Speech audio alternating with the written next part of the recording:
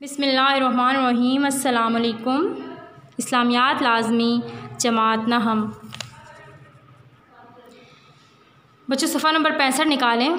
आज हम मौजूदी मताल के सबक नंबर चार की पढ़ाई करेंगे, जिसका अनवान है ज़क़़त। इस सबक में हम ज़क़़त की फ़र्ज़ियत, अहमियत और मसारिफ़ के बारे में पढ़ेंगे। ज़क़़त के लफ्सी मायनी है पाक होना, नशोनुमा पाना और बढ़ना।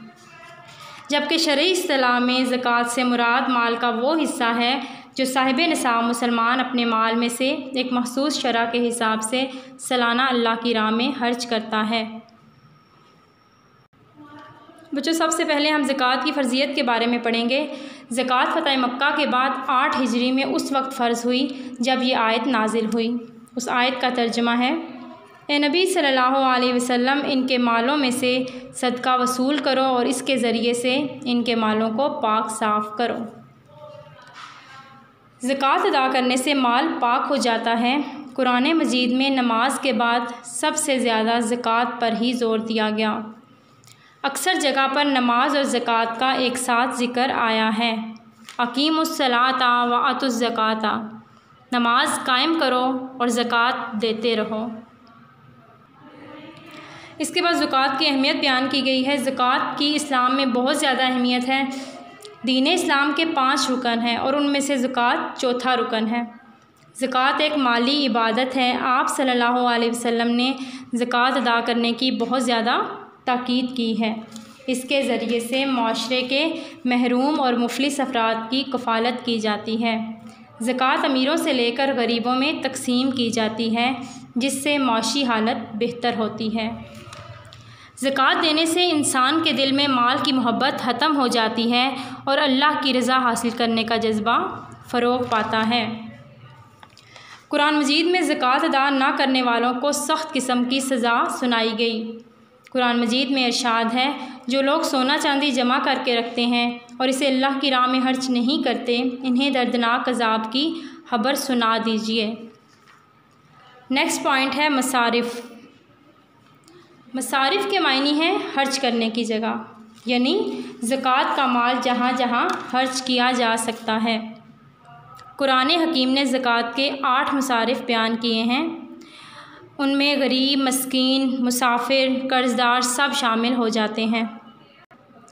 लेकिन बहुत ज़रूरी है कि ज़क़़त देते हुए हम अपने करीबी रिश्तेदारों का ख्याल रखें और उसके बाद बाहर के लोगों को ज़क़़त दें। चलें, हम इसकी पढ़ाई करते हैं। फ़र्ज़ियत। ज़क़़त के लफ्सी मायनी है पाक होना, नशोनुमा पाना और बढ़ना। ये माली इबादत दीन इस्लाम का एक रुकन है, जो एक साहिब निसाब मुसलमान पर अपने माल में से एक ख़ास शरह के मुताबिक फ़र्ज़ है। ज़क़़त अदा करने से माल में बरकत पैदा होती है और आहरत में अजर सवाब मिलता है। ज़क़़त अदा ना करना बहुत बड़ा गुनाह है। कुरान करीम में अक्सर मकाम पर नमाज़ और ज़क़़त की फ़र्जियत का ज़िक्र एक साथ किया गया है। चुनाचा कुरान करीम में अकीमसलाता वातुज़क़ाता नमाज़ कायम करो और ज़क़़त देते रहो। का हुक्म बार बार दोहराया गया है। अहमियत। ज़क़़त की अहमियत इस वाक़े से भी ज़ाहिर होती है कि जब एक मरतबा एक ग्रोह ने बारगाह नबूत में हाज़िर होकर इस्लाम की तलीमत दरियाफ़्त की तो आप सल्लल्लाहु अलैहि वसल्लम ने अमाल में सबसे पहले नमाज़ और फिर ज़क़़त का ज़िक्र फरमाया। रसूल अल्लाह सल्लल्लाहु अलैहि वसल्लम की रहलत के बाद जब बाज़ लोगों ने ज़क़़त अदा करने से इनकार किया तो हज़रत अबू बकर सदीक़ रज़ी अल्लाह ने उनके ख़िलाफ़ जहाद किया। ज़क़़त अदा न करने वालों के ख़िलाफ़ कुरान मजीद ने सख्त वईद सुनाई है, जिसका अंदाज़ा कुरान मजीद की नयाज से लगाया जा सकता है। जो लोग सोना चांदी सेंध सींध कर जमा करके ख़जाना बनाकर, ठीक है? जमा करके ख़जाना बना कर रखते हैं और इसे अल्लाह की राह में खर्च नहीं करते, इन्हें दर्दनाक अजाब की खबर सुना दीजिए। इस दिन, यानी कि क़यामत के दिन, सोने चांदी को जहन्नुम की आग में तपाया जाएगा। फिर इसके साथ इनके चेहरे, इनके पहलू और इनकी पुश्तें दागी जाएँगी। और कहा जाएगा, ये है वो ख़जाना जो तुम अपने लिए जमा करके लाए हो। अब इसका मज़ा चखो, जो तुम जमा करते रहे थे। ज़क़़त समाजी फ़लाह व बहबूद का बेहतरीन ज़रिया है। ज़क़़त के ज़रिए माशरे के महरूम और मुफलिस लोगों की कफ़ालत हो जाती है। और इस तरह माशरे में नफ़रत और इंतकाम के बजाय हमदर्दी और एहतराम और बाहिमी मोहब्बत के जज्बे को फ़रोग हासिल होता है।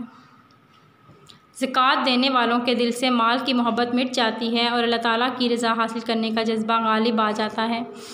गरीबों से हमदर्दी पैदा हो जाती है और दौलत के गर्दिश में आने से माशरे के अफराद की माली हालत बेहतर हो जाती है। मसारफ़, कुरान हकीम ने ज़क़़त के आठ मसारफ़ बयान किए हैं। तर्जमा, ज़क़़त तो गरीबों, मस्किनों, ज़क़़त के महकमे में काम करने वालों और उन लोगों के लिए है जिनके दिलों को इस्लाम की तरफ़ जोड़ना है। नेक्स्ट पेज, और गर्दन छुड़ाने में, यानी कि ग़ुलामों को आज़ाद करवाने में जो तवान भरें, कर्ज़दार और अल्लाह की राह में और मुसाफरों के सिलसिले में। ये अल्लाह की तरफ़ से ठहराया हुआ है और अल्लाह जानने वाला, हिकमत वाला है। इस आयत की रोशनी में ज़क़़त के आठ मसारफ़ ये हैं। सबसे पहले है फ़ुकरा। वो लोग जिनके पास अपनी ज़रूरियात ज़िंदगी को पूरा करने के लिए माल नाकाफ़ी हो और वह तंग दस्ती की ज़िंदगी बसर कर रहे हों। नेक्स्ट है मसाकिन। मसाकिन, जिन लोगों के पास अपनी ज़रूरियात ज़िंदगी को पूरा करने के लिए बिल्कुल भी माल मौजूद नहीं है। नेक्स्ट आमिलीन, ज़क़़त के महकमे के मुलाजिम। इससे मुराद वो अहलकार हैं जो महकमा ज़क़़त में काम करते हैं। तालीफ़ कल्ब, जिनकी माली अमदाद करके इस्लाम की तरफ़ माइल करना या इस्लाम पर साबित कदम रखना मतलूब हो। रकाब इससे मुराद वो लोग हैं जो ग़ुलामी की ज़िंदगी बसर कर रहे हों और ज़क़़त के माल से उनकी कीमत अदा करके आज़ाद कर दिया जाए। गारमीन, मकरूज़। इससे मुराद वो मकरूज़ लोग हैं जिनमें अपना कर्ज़ा चुकाने की हिम्मत ना हो। ज़क़़त फ़ंड से इनका कर्ज़ा अदा किया जा सकता है। फ़ी सबीलिल्लाह। अल्लाह की राह में किए जाने वाले तमाम नेक काम मसलन समाजी बहबूद, नफ़ायामा के काम, इसी तरह दीन इस्लाम के शात, सरबुलंदी और जहाद के लिए हर्ज करना इसमें शामिल है। इब्न सबील, इससे मुराद मुसाफिर हैं। जिन मुसाफरों का हर्ज ख़त्म हो जाए, या इन्हें दौरान सफ़र कोई हादसा पेश आ जाए और उनके पास अखराज के लिए रकम ख़त्म हो जाए तो ज़क़़त फ़ंड से उनकी अमदाद की जा सकती है। ज़क़़त देते वक्त पहले अपने करीबी रिश्तेदारों का ख्याल रखा जाए, बाहर के लोगों को बाद में दी जाए। इस तरह जो लोग खुद बढ़ कर सवाल नहीं करते, गुर्बत के बावजूद खुददार और गैरतमंद होते हैं, इन्हें तलाश करके ज़क़़त व सदक़ात दिए जाएँ। मशक। बच्चों, इस इस मशक में आपके चार सवाल मौजूद हैं। इन चारों सवाल को आपने ज़िया इस्लामियात से याद करना है। ठीक है? इन चारों सवाल को आपने ज़िया इस्लामियात से याद करना है। उम्मीद है कि आपको आज का लेक्चर समझ आ गया होगा। शुक्रिया।